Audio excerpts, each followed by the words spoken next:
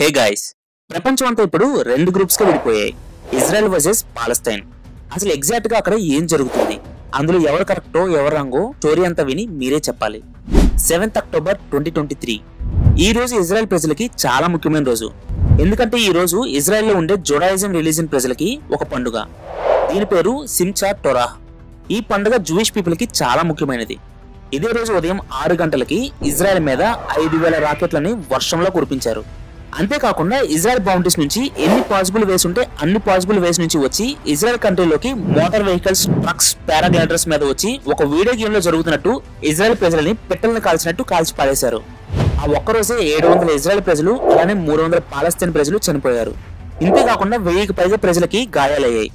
ఇదంతా తెలిసిన Israel government prime minister Benjamin Netanyahu country మొత్తం ఎమర్జెన్సీని ప్రకటించి ఇజ్రాయెల్ వారికి సిద్ధంగా ఉన్నట్టు డిక్లేర్ చేశారు. ఇదంతా చేసింది గాజాకి చెందిన వద సంస్థ. ఈ ఆపరేషన్ పేరు అల్ అక్సా స్టోమ్. అంటే పవిత్ర మసీదుని రక్షించుకోవడం. ఈ ఆపరేషన్ పేరుతో ఒక్కసారిగా ఇజ్రాయెల్ పైకి సుమారు ఐదు వేల రాకెట్లను ప్రయోగించింది. అసలు ఇజ్రాయెల్ పైన ఎందుకు దాడి చేశారు? ఇదంతా తెలియాలి అంటే మనం కొంచెం హిస్టరీలోకి వెళ్ళాలి. ఈ హిస్టరీలోకి వెళ్ళే ముందు వీడియోని లైక్ చేసి ఛానల్ని సబ్స్క్రైబ్ చేయండి.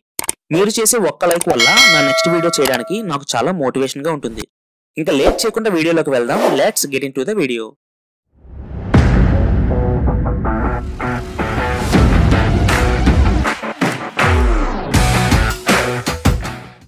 guys ఒక్కసారి ఈ మ్యాప్ని చూడండి. ఈ మ్యాప్ చాలా మంది ఇప్పటికే మెయిన్ స్ట్రీమ్ మీడియాలో చూసే ఉంటారు. నైన్టీన్ ఫార్టీ సిక్స్ ముందు అసలు ఇజ్రాయెల్ ప్రజలకి సపరేట్ దేశమే లేదు. నైన్టీన్ ఫార్టీ సెవెన్లో బ్రిటిష్ వాళ్ళు మనకి ఇండిపెండెన్స్ ఇచ్చినట్టే వీళ్ళకు కూడా ఇండిపెండెన్స్ ఇచ్చారు. సో అప్పుడు ఈ ఇజ్రాయెల్ ప్రజలు వాళ్ళ కంట్రీని ఏర్పాటు చేసుకున్నారు. నెమ్మదిగా నైన్టీన్ సిక్స్టీ సెవెన్ వరకు వీళ్ళు పాలస్తీన్ ల్యాండ్ కూడా ఆక్రమించారు. అలా ఆక్రమిస్తూ ఇప్పుడు చూస్తే ఆల్మోస్ట్ ఆ కంట్రీలో పాలస్తీన్ని వెతుక్కోవాల్సి వస్తుంది. ఇప్పుడు ఈ మ్యాప్లో కనిపిస్తున్న గాజా స్ట్రిప్ అనే ఈ ప్రాంతం అలానే వెస్ట్ బ్యాంక్ అనే ఈ ప్రాంతం మాత్రమే ఇప్పుడు పాలస్తైన్లకే మిగిలింది. ఆ వెస్ట్ బ్యాంక్లో కూడా చాలా వరకు ఇజ్రాయెల్ ఆక్రమించింది. ఈ విషయం న్యూస్ ఛానల్స్ ఫాలో అయ్యే ప్రతి ఒక్కరికి తెలుసు. ఈ మ్యాప్లో మీకు మూడు పవిత్ర స్థలాలు కనిపిస్తాయి. ఇక్కడ ఉంది అలక్సా మసీద్. డోమ్ ఆఫ్ రాక్ కూడా ఈ అలక్సా మసీదులో ఒక పార్ట్ మనందరికీ మక్కా మదీనా బాగా తెలుసు కదా? దీని తర్వాత ముస్లింలందరికీ జెరూసలేమే ముఖ్యమైన పుణ్యక్షేత్రం. ఈ అలక్సా మసీదుకి ఆనుకొని ఒక వాల్ ఉంటుంది. దాని పేరు వెస్టర్న్ వాల్ దీనికి ఒక బ్యాక్ స్టోరీ ఉంది. షార్ట్ కట్లో చెప్తాను. జాగ్రత్తగా వినండి. థౌజండ్ ఫార్టీ సెవెన్ బీసీలో కింగ్డమ్ ఆఫ్ ఇజ్రాయెల్గా పిలువబడే ఇజ్రాయెల్ కింగ్ సోలమాన్ పాలనలో ఉండేది. అప్పుడు కూడా ఇజ్రాయెల్ క్యాపిటల్ జెరూసలేమే. ఈ జెరూసలంలో కింగ్ సోలమాన్ ఫస్ట్ జూస్ టెంపుల్ని కట్టించాడు. దాని పేరు టెంపుల్ మౌంట్ సోలమాన్స్ టెంపుల్ లేదా ఫస్ట్ టెంపుల్ అని పిలిచేవాళ్ళు. ఈ టెంపుల్లో జ్యూస్ రెగ్యులర్గా పూజలు చేసేవాళ్ళు. ఇక్కడ జ్యూస్ అంటే తెలుగులో యూదులు అని అర్థం. ఆ తర్వాత క్రీస్తుపురం ఫైవ్ ఎయిటీ సిక్స్లో లో వచ్చి ఈ ఫస్ట్ టెంపుల్ని కూల్చేశారు. ఆ తర్వాత పర్షియన్స్ వచ్చి మళ్ళీ ఈ టెంపుల్ని తిరిగి కట్టి దీన్ని ద సెకండ్ టెంపుల్ అని పిలుస్తూ ఇక్కడే రెగ్యులర్గా పూజలు చేసేవాళ్ళు. వాళ్ళ తర్వాత వచ్చిన రోమన్స్ ఈ సెకండ్ టెంపుల్ కూడా కూల్చేశారు. రోమన్స్ కూల్చేసిన ఈ సెకండ్ టెంపుల్లో కేవలం ఒక గోడ మాత్రమే మిగిలింది. అదే ఈ వెస్టర్న్ వాల్. ఈ వెస్టర్న్ వాల్ యూదులకి ప్రధాన ప్రార్థనా స్థలం. యహోవాని పూజించే యూదులు కట్టుకున్న రెండు టెంపుల్స్ కూడా యుద్ధంలో ధ్వంసమైన తర్వాత ఆ టెంపుల్స్కి గుర్తుగా మిగిలి ఉన్నది ఈ వెస్టర్న్ వాల్ మాత్రమే. అందుకే ప్రపంచంలో ఉన్న యూదులంతా ఈ వెస్టర్న్ వాల్ను చూడడానికి వాళ్ళ ప్రార్థనలు చేసుకోవడానికి మాత్రమే ఈ పాలస్తీన్ వస్తారు. ఇక్కడ ఉన్న ఈ గోడ అల్లక్సా మసీదుని ఆనుకోవడమే యూదులు ముస్లింల మధ్య ఉన్న ఈ గొడవని రెండు దేశాల మధ్య యుద్ధంగా మార్చింది. ఈ అల్లక్సా మసీదుని నాశనం చేయడానికి యూదులు ట్రై చేస్తున్నారని ముస్లింలు. అలానే వాళ్ళకు మిగిలిన చారిత్రక కట్టడం అయినా ఈ గోడని నాశనం చేయడానికి చూస్తున్నారని యూదులు ముస్లింల పైన ఇద్దరి మధ్య ఇలా నమ్మకం లేకపోవడం వల్లే ఈ సమస్య ఇంత పెద్దదిగా మారింది అని చాలా మంది నమ్ముతారు. ఇలా ఇక్కడ తరచూ జరుగుతున్న గొడవలను చూసి ఇష్టపడని యూదులు పాలస్తీన్ వదిలి యూరప్ దేశాలకి వలసలుగా వెళ్ళడం మొదలుపెట్టారు. ఇలా జూస్ అని పిలువబడే యూదులందరూ ఎక్కువగా జర్మనీ కంట్రీకి వెళ్ళారు వాళ్ళు ఏ దేశానికి వెళ్ళినా జెరూసలేంలో ఉన్న టెంపుల్ మౌంట్ డైరెక్షన్ వైపు తిరిగి ప్రేయర్ చేసేవాళ్ళు. ఇప్పటికీ జూస్ ప్రపంచంలో ఏ మూల ఉన్నా ఇలాగే ప్రేయర్ చేస్తూ ఉంటారు. ఎయిటీన్ నైన్టీ వన్లో ఇజ్రాయెల్ దేశాన్ని అరబ్స్ ఆక్రమించేశారు. ఇదే టైంలో యూరప్ అలానే ప్రపంచ నలుమూల నుంచి జూస్ అందరూ వాళ్ళ సొంత దేశం అనుకున్న ఇజ్రాయెల్ కంట్రీకి వెళ్ళడం మొదలుపెట్టారు. అయితే వీటికి చాలా కారణాలు ఉన్నాయి. ఇలా బతుకు తెరువు కోసం వలసలు వెళ్తున్న యూదులకి సొంత దేశము సొంత స్థలము ఎక్కడా లేకుండా పోయింది. అంతేకాకుండా వాళ్ళు వెళ్ళిన ఏ దేశంలో కూడా అక్కడ ప్రజలు వెళ్ళని కనీసం మనిషిలా కూడా చూసేవాళ్ళు కాదు.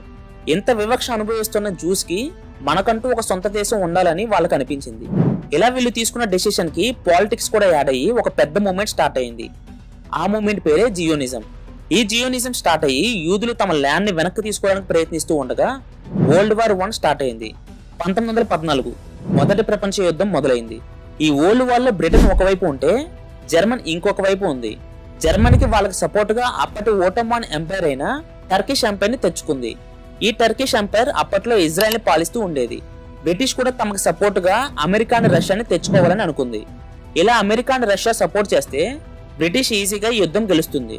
దీనికోసమే బ్రిటన్ ఒక మాస్టర్ ప్లాన్ వేసింది.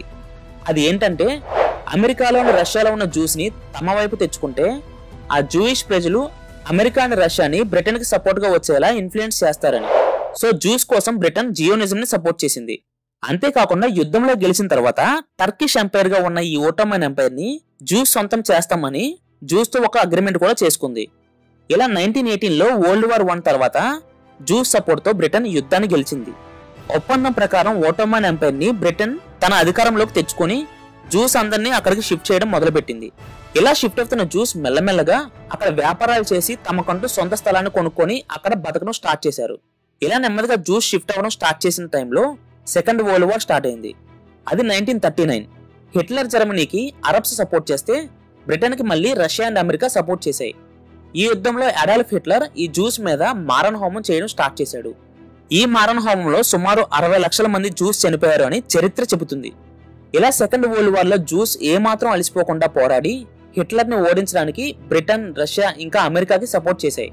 ఇంక ఈ సెకండ్ వరల్డ్ వార్ ముగిసిన తర్వాత మళ్ళీ ఇలాంటి యుద్ధాలు రాకుండా ప్రపంచ అగ్రదేశాలన్నీ కలిసి యునైటెడ్ నేషన్స్ని ఫామ్ చేశాయి. రెండు వరల్డ్ వార్స్లో ఈ జూస్ బ్రిటన్కి సపోర్ట్ చేసి గెలిపించినందుకు జూస్కి కి సొంత దేశాన్ని ఏర్పాటు చేయాలని బ్రిటన్ యునైటెడ్ నేషన్స్కి ఈ పని అప్పచెప్పింది. యునైటెడ్ నేషన్స్ ఈ ఇష్యూని సాల్వ్ చేయడానికి ఒక పెద్ద కమిటీని అయితే ఏర్పాటు చేసింది. ఈ కమిటీలో పదకొండు దేశాల మెంబర్స్ అయితే ఉన్నారు. వీళ్ళందరూ అయితే పాలస్తీన్కి వెళ్ళి అక్కడ సిచ్యువేషన్ స్టడీ చేసి ఒక రిపోర్ట్ అయితే ఇచ్చారు. ఆ రిపోర్ట్ ప్రకారం పాలస్తీన్ పాపులేషన్లో వన్ థర్డ్ జూస్ ఉంటే టూ థర్డ్ పాపులేషన్ అయితే అరబ్స్ ఉన్నారు. ఈ రిపోర్ట్ ఇచ్చిన తర్వాత యునైటెడ్ నేషన్స్ ఫైనల్ డెసిషన్ తీసుకుంది. అది హిస్టారికల్ డెసిషన్ అని చెప్పుకోవచ్చు. పాలస్తీన్లో జూస్ క్రిస్టియన్స్ అలానే అరబ్స్ ఉన్నారు. వీళ్ళందరికీ న్యాయం జరగాలంటే సపరేట్గా ఇజ్రాయెల్ అనే కంట్రీని ఏర్పాటు చేసి దానిని జూస్కి అదే ఏరియాలో పాలస్తీన్ ప్రజల కోసం సపరేట్ ప్లేస్ని ఇచ్చింది. కానీ జెరూసలేం మాత్రం ఎవరికి ఇవ్వకుండా యునైటెడ్ నేషన్స్ కంట్రోల్లో ఉంచాలి అని డిసైడ్ అయింది. ఇలా నైన్టీన్ ఫార్టీ సెవెన్లో పాలస్తీన్లో ఇజ్రాయెల్ అనే కొత్త దేశాన్ని ప్రకటించింది. ఇక్కడ ఉండే మెజారిటీ ప్రజలు ముస్లింలు జూస్ మరియు క్రిస్టియన్లు. వీళ్ళందరికీ ముఖ్యమైన జెరూసలేం అనే ఈ ప్రాంతాన్ని మాత్రం అలానే సపరేట్గా ఉంచింది. ఇలా పాలస్తీన్ సపరేట్ చేసినందుకు అక్కడ ఉన్న పాలస్తీన్లు ఇజ్రాయెల్ని కొత్త కంట్రీగా అనౌన్స్ చేసిన మరుసటి రోజు నుంచే అక్కడ గొడవలు జరగడం స్టార్ట్ అయ్యాయి. ఇలా పాలస్తీన్లకి అరబ్ కంట్రీస్ కూడా సపోర్ట్ చేసి ఈ గొడవల్ని యుద్ధాలుగా మార్చాయి. ఇలా జరిగిన యుద్ధంలో పాలస్తీన్ ఓడిపోయింది. ఇలా ఓడిపోయిన పాలస్తీన్ ప్రజల దగ్గర నుంచి ఇజ్రాయెల్ ఇంకా ఎక్కువ స్థలాన్ని ఆక్రమించుకోవడం స్టార్ట్ చేసింది. ఇలా మొదలైన గొడవలు జూస్ అండ్ పాలస్తీన్ల మధ్య ఇప్పటికీ కొనసాగుతూనే ఉన్నాయి. సెకండ్ జూన్ నైన్టీన్ సిక్స్టీ ఫోర్లో పాలస్తీన్ లిబరేషన్ ఆర్గనైజేషన్ పిఎల్ఓ అని ఒక కొత్త ఆర్గనైజేషన్ని పాలస్తీన్ స్టార్ట్ చేసింది. ఈ ఆర్గనైజేషన్ మోటో ఏంటంటే జూస్ దగ్గర నుంచి ఇజ్రాయెల్ని లాక్కొని పాలస్తీన్ ప్రజలకి అప్పగించడం. ఇలా ఇజ్రాయెల్ ఏర్పడిన తర్వాత నైన్టీన్ నైన్టీ ఫోర్లో పాలస్తీన్లో యాసర్ అరాఫత్ చేతుల మీదుగా గవర్నమెంట్ని ఏర్పాటు చేశారు. అదే టైంలో ఇజ్రాయెల్లో ఇజ్జాక్ రాబిన్ ప్రైమ్ మినిస్టర్ అయ్యారు. ఇతనికి ఈ ఇజ్రాయెల్ అండ్ పాలస్తీన్ ప్రజలు శాంతియుతంగా ఉండాలని కోరుకునేవాడు. ఇలా అరాఫత్ అండ్ రాబిన్ మధ్య శాంతి చర్చలు జరిగాయి. అంతటితో ఈ రెండు దేశాల మధ్య ఇంకా సమస్య ఉండదు అని ప్రపంచ దేశాలన్నీ అనుకున్నాయి. కానీ ఇండియా పాకిస్తాన్ విడిపోతే ఏ సమస్య ఉండదు అనుకున్నప్పుడు మహాత్మా గాంధీని గాడ్సే ఎలా కాల్చి చంపాడో మనందరికీ తెలుసు కదా. సేమ్ అలానే ఇజ్రాయెల్ ప్రైమ్ మినిస్టర్ అయిన ఇజ్జాక్ రాబిన్ని ద్రోహం చేస్తున్నాడు అని Israel right wing extremist Yigal Amir అనే అతను ఇజ్రాయెల్ ప్రధానిని కాల్చి చంపేశాడు. ఇలా శాంతి ఒప్పందం జరిగిన ఒక సంవత్సరం లోపే ఇజ్రాయెల్ ప్రైమ్ మినిస్టర్ హత్యకు గురి అయ్యాడు. ఆ తర్వాత రెండు వేల నాలుగులో పాలస్తైన్లో యాసిర్ అరాఫత్ అనుమానాస్పదంగా చనిపోయాడు. అప్పట్లో బాగా పాపులర్ అయిన స్విస్ రిపోర్ట్లో ఈ యాసిర్ అరాఫత్ చనిపోవడానికి మెయిన్ రీజన్ తన పైన విషప్రయోగం జరిగింది అని తన ఫారెన్సిక్స్ రిపోర్ట్ని రిలీజ్ చేసింది. ఇదంతా జరుగుతున్న సమయంలో పాలస్తీన్ ప్రజల్లో చాలా మందికి ఈ పిఎల్ఓ మీద నమ్మకం పోయింది. ఇజ్రాయెల్ చేతిలో ఈ పిఎల్ఓ ఒక కీలు బొమ్మలా అయిపోయింది అని నమ్మిన కొంతమంది పాలస్తీన్ ప్రజలు హమాస్ అనే ఒక కొత్త గ్రూప్ని ఫామ్ చేశారు. ఇది ఒక మినీ సైజ్ టెర్రరిస్ట్ గ్రూప్ లాంటిది. హమాస్ ఇజ్రాయెల్ పైన అటాక్ చేయడం మొదలుపెట్టింది. వీళ్ళకి ఫండింగ్స్ ఈ అరబ్ కంట్రీస్ అయినా Egypt Iraq Jordan Kuwait Lebanon Libya వీటి నుంచి ఫండింగ్ వస్తుంది. ఎందుకంటే ఈ అరబ్స్కి ఎప్పటి నుంచో ఈ జ్యూస్ అంటే పడదు. సో ఇండైరెక్ట్గా చేస్తూ ఇజ్రాయెల్ పైన యుద్ధాన్ని చేస్తున్నాయి. ఇలా seventh October twenty twenty three early morning రాజా ఇజ్రాయెల్ పైన కొన్ని వేల రాకెట్ లాంచర్స్ని వదిలారు. బార్డర్స్ నుంచి ఇజ్రాయెల్లోకి ఎంటర్ అయ్యి అమాయకులని కిరాతకంగా కాల్చి చంపేశారు. ఇలా బార్డర్లో నుంచి వెళ్ళిన మిలిటెంట్లు వెయ్యికి పైగా అమాయకులను చంపారు. రెండు వేల నుంచి ఐదు వేల వరకు ప్రజలు గాయపడ్డారు. వందకు పైగా అమాయకులని కిడ్నాప్ చేశారు. ఇవన్నీ చూస్తున్న Benjamin Netanyahu we are at war అని డిక్లేర్ చేశారు. మేము ఖచ్చితంగా నాశనం చేస్తామని వార్నింగ్ కూడా ఇచ్చారు.